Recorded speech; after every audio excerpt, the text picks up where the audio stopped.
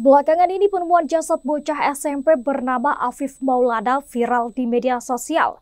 Penemuan jasad Afif ini diunggah ke media sosial dengan narasi bahwa korban diduga dianiaya oleh polisi sampai meninggal dunia. Bocah malang tersebut ditemukan di sebuah kolong jembatan sungai dalam kondisi memprihatinkan. Tepatnya ditemukan di bawah jembatan Kuranji, Kota Padang, Sumatera Barat. Ketika temuan jasad Afif ini diunggah ke media sosial dengan narasi bahwa korban diduga dianiaya oleh polisi sampai meninggal dunia, sontak hal ini pun menjadi bahan pembicaraan banyak orang. Namun hal tersebut dibantah oleh Kapolda Sumatera Barat Irjen Pol Suharyono dalam konferensi pers pada Minggu 23 Juni.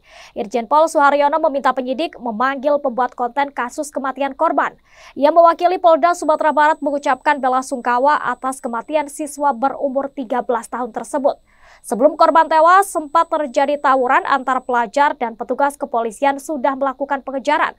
Adapun para pelajar yang terlibat tawuran membawa senjata tajam. Kedatangan polisi ke TKP ini guna memisahkan kedua kelompok pelajar. Namun dikatakannya beredar sebuah narasi bahwa polisi bertindak salah dengan menyebut bahwa pihaknya telah menganiaya seseorang hingga meregang nyawa, tapi tidak ada bukti dan saksi sama sekali. Sebanyak 18 pelajar yang terlibat tawuran pun telah diamankan dan dibawa ke Polsek Kuranji.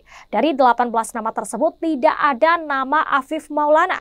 Hanya saja sebelum ditemukan jenazah di bawah jembatan Kuranji, berdasarkan kesaksian Adit yang membonceng Afif Maulana diajak masuk ke sungai untuk mengamankan dari kejaran polisi.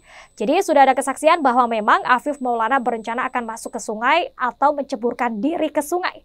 Ia mengaku belum dapat memastikan penyebab tewasnya Afif Maulana dan dari 40 saksi yang diperiksa, 30 di antaranya merupakan anggota Sabara Polda Sumatera Barat yang membubarkan tawuran.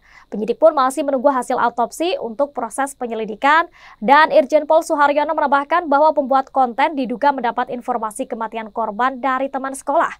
Sebelumnya, Wakapolresta Padang AKBP Ruli Indra Wijayanto menyatakan jasad korban ditemukan pada Minggu 9 Juni 2024 sekira pukul 11.55 waktu Indonesia Barat.